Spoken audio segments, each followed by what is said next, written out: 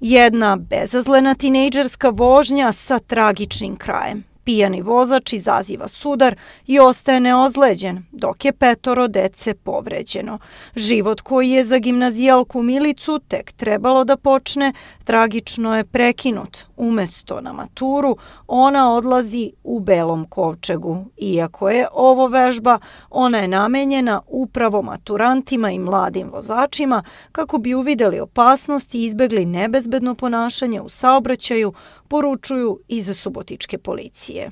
Kako može iz nekih, e, da kažem, nemilih događaja da se desi strašna stvar da shvate šta mogu da učine sa jednom greškom koja može da izazove razno razne posledice i da dovede i da oni jednostavno znaju da sa svojim nebezrednim ponašanjem mogu da naštete drugima, da vide kakav bol mogu da izazovu kod roditelja, sami među sobom i kad ostanu bez nekog koji im je drag. Glavna poruka mladima jeste da nikad ne sedaju, pored alkoholisanog vozača ističu i službe hitne medicinske pomoći. Poruka mladima je da, da razmišljamo malo unapred, da znamo šta je ono što se može dogoditi.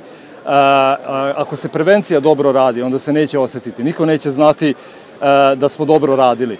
Ali ako se nezgoda dogodi ili nesreća dogodi, e, onda će se znati ovaj, prave posledice svega toga.